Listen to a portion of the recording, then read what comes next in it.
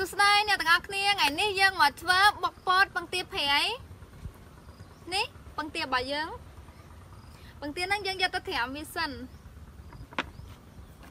ហើយបន្លែរបស់យើងមានពតស្ដាយគួរការ៉ុតខូចឆ្មាពេញប៉ាខ្ទឹមសម្ទេសហើយគ្រឿងរបស់យើងមានដូចជាអំបិលហ៊ីប៊ីសណ្តែកដីអំពិលទុំទឹកត្រីប៊ីចេងស្ករតោះយើងធ្វើទាំងអស់គ្នា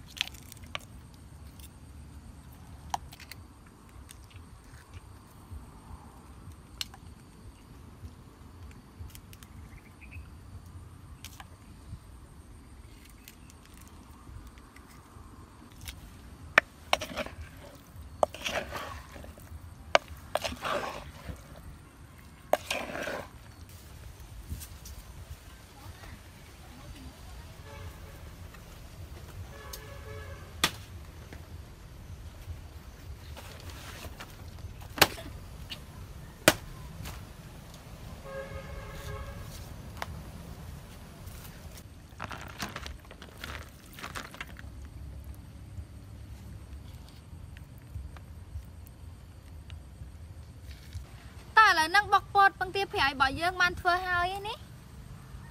តោះញ៉ាំទាំងអស់គ្នា